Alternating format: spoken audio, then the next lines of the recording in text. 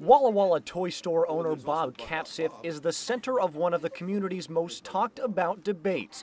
The reason why?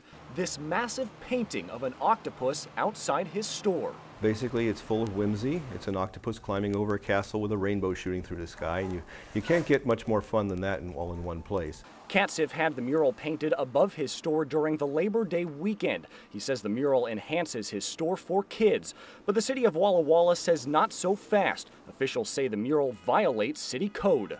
The ordinance says that uh, in the downtown area, a sign on the wall shall be um, a maximum of 150 square feet.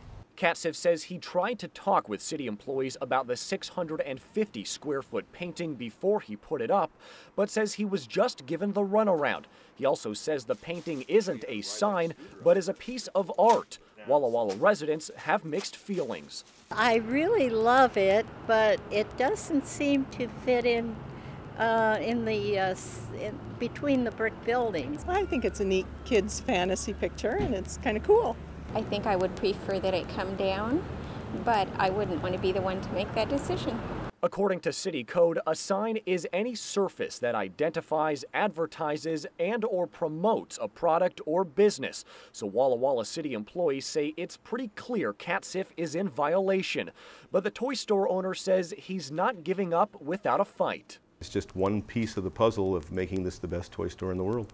In Walla Walla, Josh Peterson, KAPP KVEW Local News.